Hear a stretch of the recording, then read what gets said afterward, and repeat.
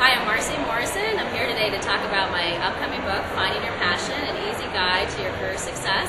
And I'm really happy to be here with Joe Sweeney, who's highlighted in my book, who has a wonderful journey about success. He has 30 years of work experience. And Joe has a, a unique definition of success, one that's just not about his career, but is a multifaceted approach to how he defines success.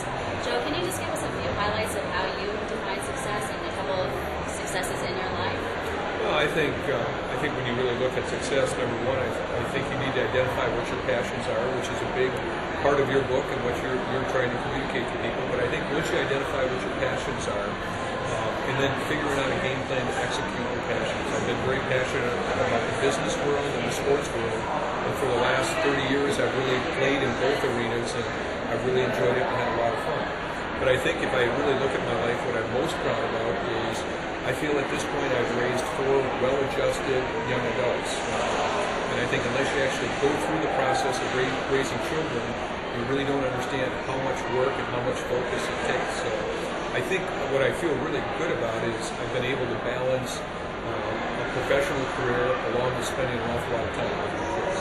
That's great. And Joe shares a lot of the details of how he did that in the book. But one thing that really stood out to me while Joe and I talked about his story was the fact that success often is not always easy. A lot of times your success comes from having some dark moments and some challenges. So what impressed me the most is how Joe has risen above that and, and what were the techniques that you used when you hit those walls and maybe some dark moments? Well, I think first of all, Marcy, that's a good question. I think uh, many times we look at people in business and in the sports world or whatever worlds we're in is they start a career and they have instant success.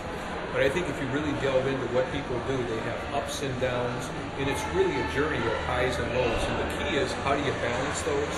I think one of the things that I've always felt is every success I've had in business, I've realized that success is really temporary. And I think humility is something you have forever. And I think if you look at what's going on in the last year, a lot of American people in the business world and in the investment field have really been humbled which I think is really a, a timely thing for your book to, to, help people find their passions and identify what it is they want to do. I think this, the, the other thing that's really helped me through this is to build a strong support network.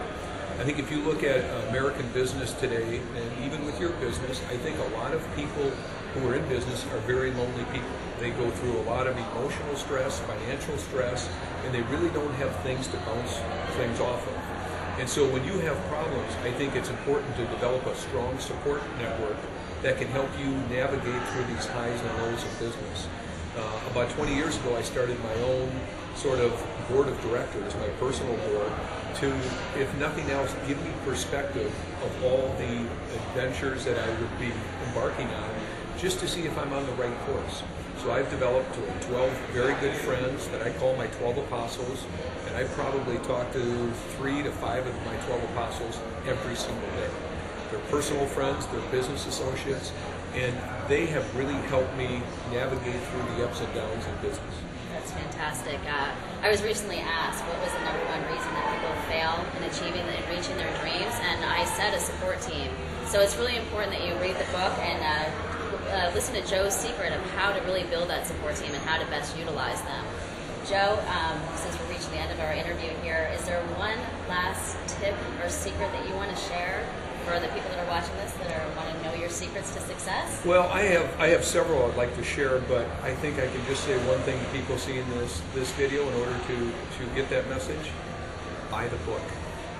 Thank you. Thanks, Joe. All right. Thanks, Marcy.